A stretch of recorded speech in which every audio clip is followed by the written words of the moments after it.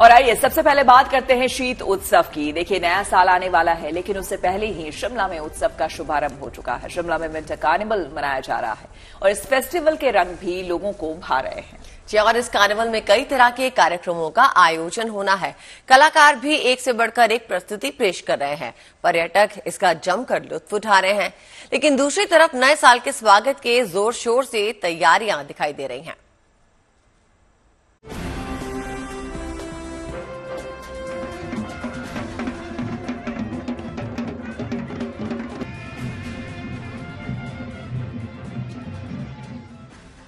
शिमला में शीत उत्सव। कलाकार सजा रहे हैं महफिल। लोग उठा रहे हैं जमकर लुत्फ। पहाड़ों की रानी शिमला नए साल के स्वागत के लिए सज धस कर न सिर्फ़ तैयार है, बल्कि यहाँ विंटर कार्निवल शुरू भी हो चुका है। कार्निवल के पहले दिन सोमवार को कलाकारों ने अपनी प्रस्तुति से समा बाँध दिया।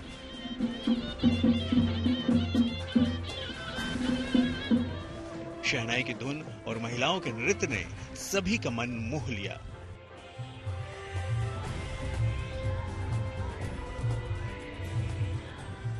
रिज मैदान पर क्रिसमस के मौके पर इस कार्निवल का मुख्यमंत्री सुखविंदर सिंह सुक्खू ने शुभारंभ किया, जो नए साल पर अपने ये शबाब पर होगा। इस उत्सव में हर दिन नई नई प्रस्तुतियाँ लोगों को देखने को मिलेंगी। एक विंटर कार्निवल भी पर्यटकों को आकर्षित करने के लिए इस प्रकार का आयोजन किया गया है।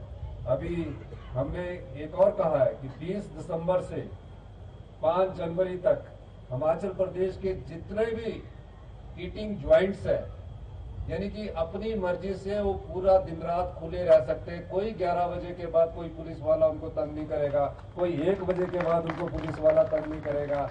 वो खुले रह सकते हैं। क्योंकि पर्यटक जब यहाँ आता है वो हमारा अतिथि है। उसका अभाव करना हमारा फ़र्ज़ बनता है। नए साल का जश्न मनाने के लिए बड़ी संख्या में लोग हिमाचल प्रदेश का रुख कर रहे हैं। शिमला में पर्यटकों को किसी तरह की दिक्कत का सामना न हो इसका भी खास ख्याल रखा जा रहा है। फ़र्स्ट जनवरी के आसपास का जो समय होगा उसमें ये नंबर जो है 20 से बाईस हज़ार गाड़ियों का आवागमन जो है वो शोगी बैरियर से हो सकता है। और more specifically but we are expecting और जो हमारा पास्ट एक्सपीरियंस भी है, कि in the last week of the year लगभग एक लाख के करीब गाड़ियों का आवागमन हो सकता है, और उस चैलेंज को हम मीट आउट करेंगे। समझ में भी हमने अच्छे से मीट आउट किया था। विंटर कार्निवल से यहाँ के पर्यटन उद्योग को मजबूती मिलना लाजमी है। लिहाजा यहाँ पर्यटकों की सुख सुविधा पर पूरा ध्यान दिया जा रहा है। सोमवार को मुख्यमंत्री ने यहाँ एक मीटर के ढली सुरंग का भी उद्घाटन किया, जो बेहद आकर्षक है। इस टनल को हमने शिमला के जो ऊपरी क्षेत्र है उनके लिए खोल दिया है। हिमाचल में शिमला से लेकर मनाली और सोलन तक में पर्यटकों का पहुँचना जारी है। नए साल के जश्न को लेकर पर्यटक कितनी बड़ी तादाद में हिमाचल प्रदेश पहुँच रहे हैं। शिमला और सोलन के बीच शोधी बैरियर से महज 24 घंटे में 16,000 गाड़ियों की एंट्री हुई। यहाँ अप डाउन जो है मेरे हिसाब से सुबह कल आठ बजे से लेकर आज आठ बजे तक सोलह हज़ार के आसपास गाड़ी निकला है। बड़ी संख्या में पर्यटक शिमला, सोलन, कसौली और चायल में पहुँच भी चुके हैं।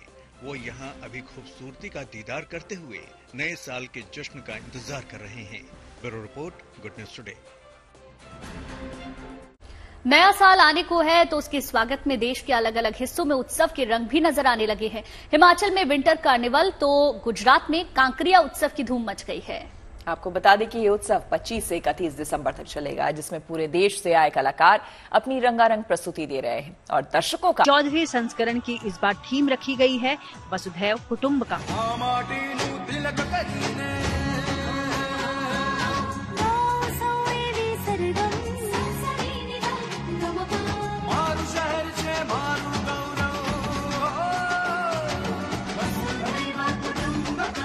वहीं जिस दिन यानी 25 दिसंबर को इस कार्निवाल का शुभारंभ होता है, उस दिन देश के पूर्व प्रधानमंत्री अटल बिहारी वाजपेयी का जन्म दिवस भी है। तो आज ये कार्निवाल एक उत्सव का रूप यहाँ ले चुका है।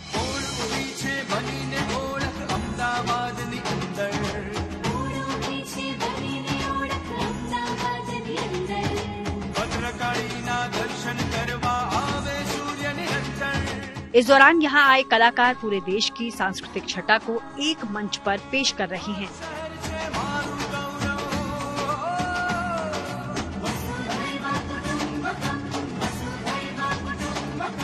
अपनी अपनी रंगारंग पेशकश के ज़रिए ये कलाकार दर्शकों की खूब तालियाँ बटोर रहे हैं। वैसे कांकरिया फेस्टिवल का मकसद श्रमिक वर्ग के उत्थान का भी माना गया है। इस वर्ग के बच्चों को ये कार्निवाल अपना टैलेंट दिखाने का मौका भी दे रहा है। भारत नो संकल्प इस दौरान 31 दिसंबर तक रोज़ाना रात में विकसित भारत संकल्प थीम आधारित लेजर शो भी आयोजित हो रहा है जिसके माध्यम से देश में चलाई जा रही कई महत्वपूर्ण योजनाओं के फ़ायदे के बारे में लोगों को अवगत किया जा रहा है। सहकारी घर हर खाए घर घर ईंधन पानी जुओ बनी उज्ज्वला नारी। નારી નાના ઉદ્યોગોની કષ્ટી મુદ્રા લોને તારી સ્ટાર્ટઅપ ઇન્ડિયા આપે છે સૌ સાહસને પ્રોત્સાહન ઘટ્યું પ્રદૂષણ ઈ બસ ચાલી करीब एक हफ्ते तक चलने वाले कांकरिया कार्निवाल में सांस्कृतिक कला और कई सामाजिक गतिविधियां आयोजित हो रही हैं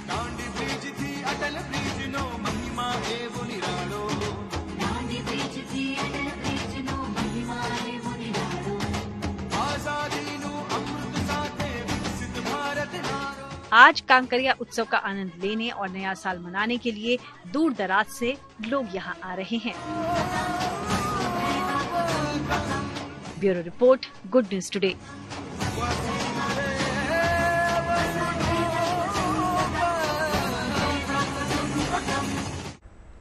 मौका न्यू ईयर के जश्न में डूबने का है और अगर हसीन वादियों का साथ मिल जाए तो न्यू ईयर का सेलिब्रेशन दोगुना हो जाए।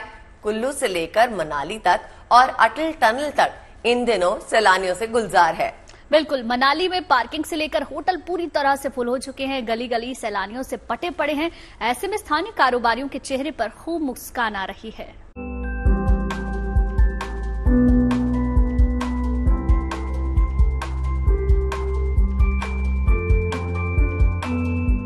आँखों को तरावट देने वाली मनमोहक वादियाँ पहाड़ों की शानदार खूबसूरती सैलानियों की बहार नए साल के जश्न का चढ़ा खुमार। लगभग साल भर सैलानियों से गुलजार रहने वाले इस अनूठे हिल स्टेशन पर आकर कुछ दिन गुजारने की तमन्ना हर किसी के दिल में रहती है। यही वजह है कि हिमाचल के मनाली में सैलानियों की भीड़ लगी रहती है। इन दिनों भी नज़ारा कुछ ऐसा ही है। कुल्लू और मनाली की खूबसूरत वादियों में इन दिनों सैलानियों का मेला लगा हुआ है। दिल्ली एनसीआर में होता है मतलब छोटे मोटे इवेंट्स होते हैं कैरल्स वगैरह होती हैं। बट अब थोड़ा ये सोचा है कि थोड़ा बाहर भी जाके एक्सप्लोर करते हैं, यहाँ पे बिकॉज़ रश ये पी आर होते हैं यहाँ पे। और यहाँ पे एक बार थोड़ा ये था कि एक बार विटनेस कर लेते हैं क्या है, नहीं है। ट्रैफ़िक हमने भी बहुत देखा, आधे टाइम में मतलब हमारी बसेस लगभग एक किलोमीटर के लिए अराउंड वन आवर हमें लगे हैं। बहुत हंड्रेड हंड्रेड मीटर एक बार में चल रहे थे बहुत ज़्यादा ट्रैफ़िक है और भीड़ भी बहुत ज़्यादा चुकी है पीक आवर है। पहली बार मनाली आया हूँ। हिल स्टेशन पहले भी गए हैं लेकिन ये थोड़ा हाइट वाइज थोड़ा ज़्यादा ऊपर है तो ठंड ज़्यादा है। आई गेस माइनस में अभी टेम्परेचर होगा। बट मनाली का फ़र्स्ट टाइम एक्सपीरियंस बहुत सही है। मनाली की सड़कें और बाज़ार में मौजूद भीड़ बता रही है कि मनाली की हसीन वादियाँ इन दिनों सैलानियों से गुलजार है। मनाली के मॉल रोड से लेकर अटल टनल और कुल्लू और रोहतांग तक पर्यटक बड़ी तादाद में पहुँच रहे हैं। आलम यह है कि कुल्लू में बीते दिन में पचास हज़ार ऐसी ज़्यादा गाड़ियों की एंट्री हुई है, जबकि बीते दो दिन में करीब चालीस हज़ार गाड़ियाँ अटल टनल से गुजरी हैं। जानकारी के मुताबिक, पिछले तीन दिन में मनाली में करीब डेढ़ लाख पर्यटकों की आवाजाही हुई है। मनाली में तो इस कदर भीड़ है कि वहाँ के ज़्यादातर होटल हाउसफुल है। लगभग पंचानवे प्रतिशत होटलों में सैलानी मौजूद हैं। मनाली में पर्यटकों की बढ़ती तादाद से होटल कारोबारियों के चेहरों पर खुशी है। कोविड के बाद एक लहर टूरिज़्म की भी आई थी, जो कि कोविड से सारे लोग फंसे हुए थे।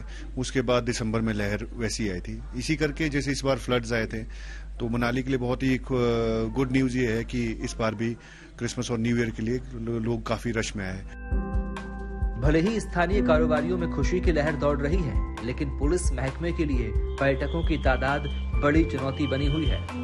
मनाली की सड़कों पर तो ट्रैफ़िक है ही, इसके साथ में अटल टनल जाने वाले रास्ते और मनाली आने वाले रास्तों पर भी जाम जैसे हालात हैं। ऐसे में पुलिस इस तरह के हालात से निपटने के लिए पूरी तरह तैयार है। तो आप भी तैयार हो जाइए नए साल के जश्न के लिए। छुट्टियों और बर्फबारी के बीच नए साल की मस्ती और हसीन वादियों का दिलकश नज़ारा आपके न्यू ईयर सेलिब्रेशन को दोगुना बना देगा Manvinder Arora, Manali good news today देखिए, नए साल के जश्न की तैयारियाँ तो खूब हो रही है, लेकिन देश के कई इलाकों में ठंड और कोहरे की परेशानी भी बनी हुई है।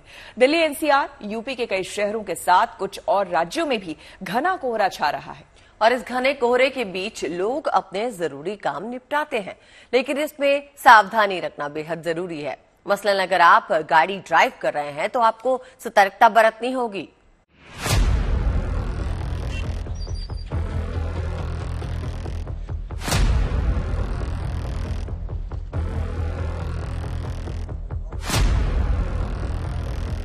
साल 2023 का आखिरी महीना दिसंबर।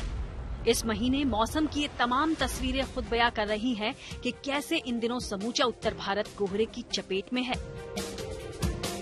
ठंड के साथ कोहरे की चादर में दिल्ली, गाजियाबाद, पंजाब, श्रीनगर, मेरठ, मुरादाबाद, कानपुर और आगरा समेत कई और इलाके भी लिपटे हुए हैं। ये साल का वो हिस्सा है मौसम का वो पड़ाव है जब दरअसल पूरा उत्तर भारत कोहरे की चपेट में होता है और उसकी शुरुआत देखने को मिल रही है सुबह से ही खासकर पंजाब हरियाणा पश्चिमी उत्तर प्रदेश उत्तरी मध्य प्रदेश दिल्ली पूरा एनसीआर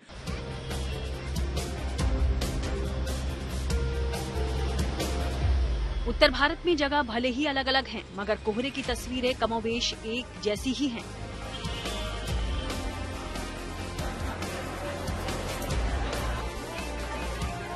कोहरे के चलते सड़कों पर गाड़ियाँ मानो रेंग रही हैं।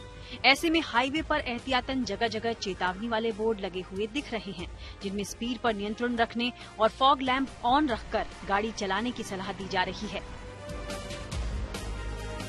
हालाँकि दिल्ली में फ़िलहाल ठंड ज़्यादा नहीं है, बावजूद इसके विजिबिलिटी कम होने से उड़ानों पर भी असर पड़ा है। यही नहीं, कई ट्रेनें भी कोहरे की वजह से अपने तय समय से देरी से चल रही हैं। मौसम विभाग का कहना है कि इस, इन दिनों में अमूमन टेम्परेचर कम रहता है, लेकिन वेस्टर्न डिस्टर्बेंसेस की वजह से टेम्परेचर जो है वो ज़्यादा दर्ज किया जा रहा है। इसी तरह की तस्वीरें विजिबिलिटी लेवल की अगर हम बात करें तो इसी तरह की तस्वीरें दिल्ली एयरपोर्ट पर भी देखी गई हैं, जहाँ पर फ्लाइट्स जो हैं वो खासा प्रभावित हुई हैं। ट्रेन जो है, उनकी मूवमेंट्स पर काफ़ी असर पड़ा है, क्योंकि विजिबिलिटी लेवल काफ़ी कम हो गया है। एयरपोर्ट पर विजिबिलिटी लेवल डेढ़ मीटर तक पहुँच गया है। मौसम विभाग ने आने वाले दिनों में ठंड और कोहरे को लेकर कुछ ऐसा पूर्वानुमान जताया है। अगले चार पाँच दिन का अगर बात करते हैं तो खास प्लेन रीजन्स में टेम्परेचर का बहुत ज़्यादा चेंज नहीं आने वाली है, क्योंकि कोई वेस्टर्न डिस्टर्बेंस भी नहीं आ रही है। जो एंटी साइक्लोन बैठा हुआ है नॉर्थ इंडिया के ऊपर, वो अगले चार पाँच दिन ऐसे ही बरकरार रहेगी। मौसम विभाग की माने तो भले ही आने वाले कुछ दिनों तक मैदानी इलाकों में ठंड में कोई इजाफा नहीं होगा, मगर ऊँचे पहाड़ी क्षेत्रों में वेस्टर्न डिस्टरबेंस के चलते कुछ बारिश और बर्फबारी होने की भी संभावना है। फ़िलहाल तो जो कोहरे की चादर उत्तर भारत में छाई हुई है, उसको देखते हुए घर से निकलने की सूरत में हर किसी को एहतियात बरतने की ज़रूरत पर ध्यान देना होगा। दिल्ली से आशुतोष मिश्रा, पीयूष मिश्रा और नीतू झा के साथ bureau report, good news today. बात अयोध्या में रामलला के नए मंदिर में विराजमान होने की। रामनगरी अयोध्या में प्रभु श्री राम की प्राण प्रतिष्ठा की तैयारी चल रही है और इन तैयारियों को जांचने परखने के लिए अब खुद प्रधानमंत्री मोदी 30 दिसंबर को अयोध्या पहुँच रहे हैं। आपको बता दें कि अयोध्या आगमन पर प्रधानमंत्री नरेंद्र मोदी के स्वागत के लिए भी खास तैयारी की गई है। प्रधानमंत्री इस दौरान अयोध्या को तो सौगात देंगे ही, कई विकास परियोजनाओं की नींव भी रखेंगे।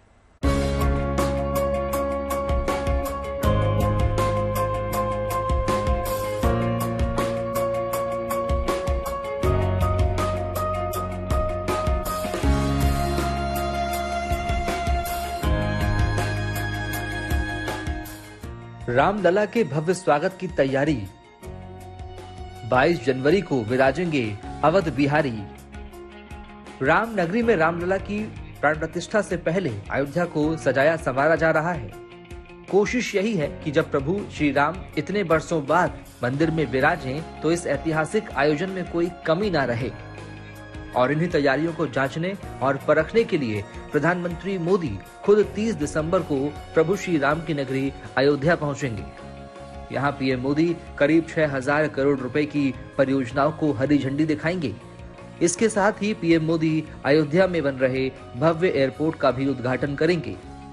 प्राण प्रतिष्ठा से पहले प्रधानमंत्री मोदी जब पहुँचेंगे इसी महीने के अंत में तो सबसे पहले वो एयरपोर्ट पर पहुँचेंगे और उसका उद्घाटन करेंगे। हम आपको तस्वीरें दिखाएँ कि ये वो अयोध्या का एयरपोर्ट है, जिसका इनाग्रेशन प्रधानमंत्री मोदी करेंगे और इस एयरपोर्ट को पूरी तरीके से तैयार किया जा रहा है, जहाँ पर सौ से ज़्यादा ऊपर विमान भी आएँगे और इसके साथ साथ कई वीआईपी गेस्ट जो हैं, प्राण प्रतिष्ठा के समय इसी एयरपोर्ट के ज़रिए अयोध्या में प्रवेश करेंगे।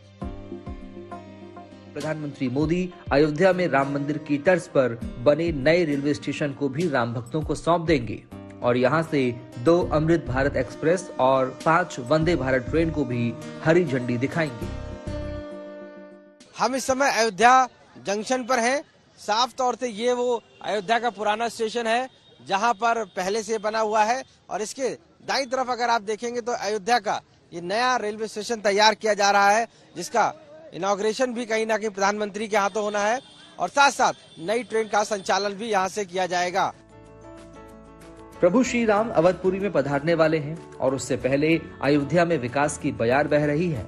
शहर की सूरत बदल रही है। ऐसे में अब पीएम मोदी के आगमन को लेकर भी यहाँ सुरक्षा के लिहाज से तमाम इंतज़ाम किए जा रहे हैं। जहाँ पर आवश्यकता है अतिरिक्त फोर्स की वहाँ पर लगाया जा रहा है। जहाँ जहाँ पे तकनीक का अधिकतम समावेश करना हो चाहे वो ड्रोन कैमरे के माध्यम से सर्विलांस का हो चाहे वो सीसीटीवी कैमरों के उन्नत तकनीकों के माध्यम से उसका पर्यवेक्षण का उन सभी चीज़ों को हम लोग यहाँ पर कर रहे हैं। रामनगरी में प्रधानमंत्री मोदी के स्वागत की जोरदार तैयारियाँ हैं। खास बात यह है कि रामनगरी में पीएम मोदी का स्वागत करने के लिए अयोध्या का मुस्लिम समुदाय भी पल के बिछाए इंतज़ार कर रहा है। हमारे प्रधानमंत्री अयोध्या पे आ रहे हैं। हमारे लिए, हमारे समाज के लिए एक खुशी का पल है और त्योहार के रूप में हम लोग मनाएँगे और माननीय मोदी जी का हम लोग पुष्प वर्षा करके उनका स्वागत करेंगे, अभिनंदन करेंगे।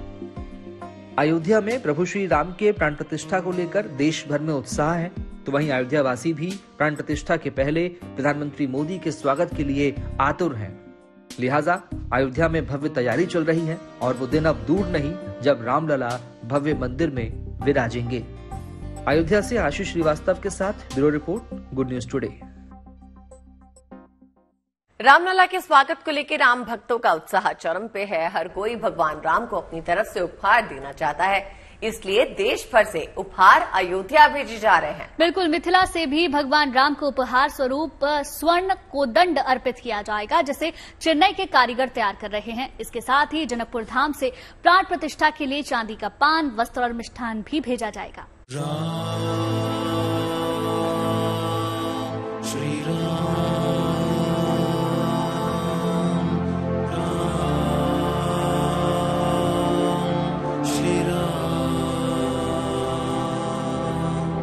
अवधपुरी में आ रहे हैं प्रभु श्री राम देश भर में उत्सव और उल्लास।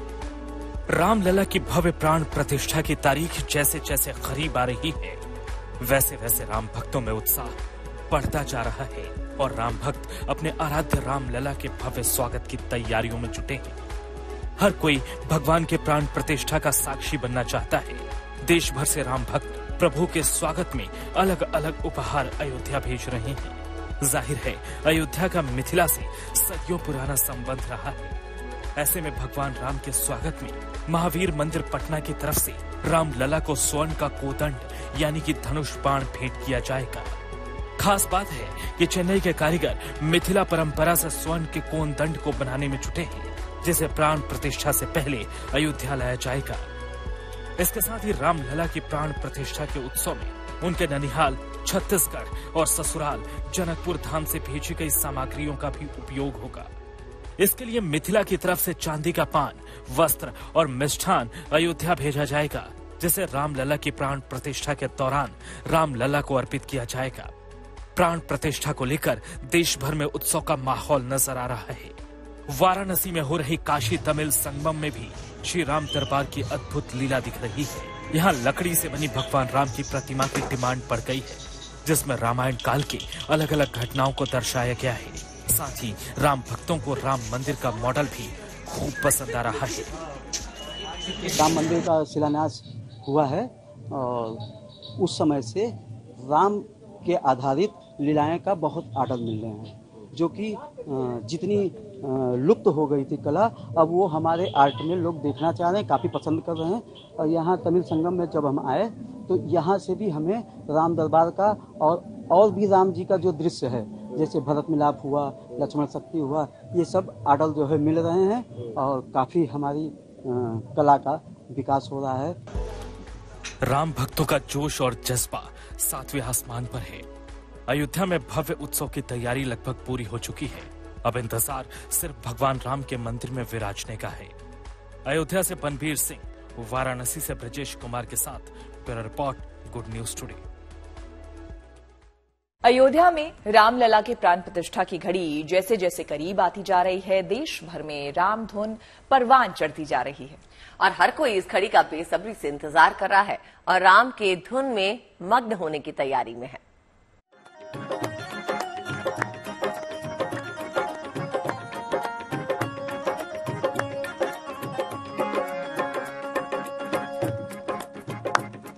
राम मेरे घर आएँगे। राम मेरे घर आएँगे। राम मेरे घर आएँगे। राम मेरे घर आएँगे। गली गली कूचे में भगवान लहराएँगे। गली गली कूचे में भगवान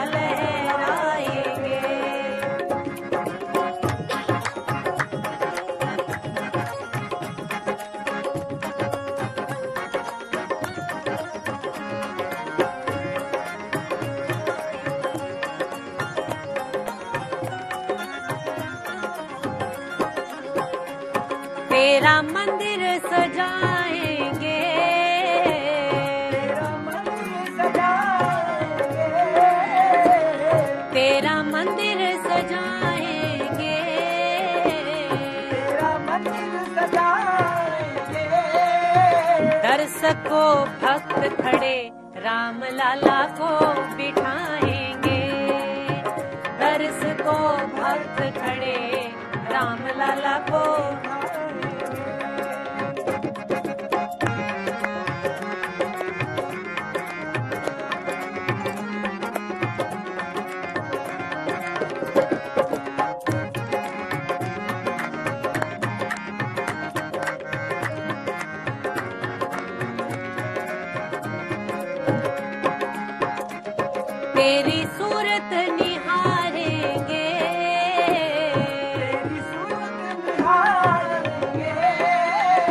नया साल आने को ही है और ऐसे में हमारी यही दुआ है कि मायूसी रहे आपसे कोसों दूर, खुशियाँ और सफलता आपको मिले भरपूर।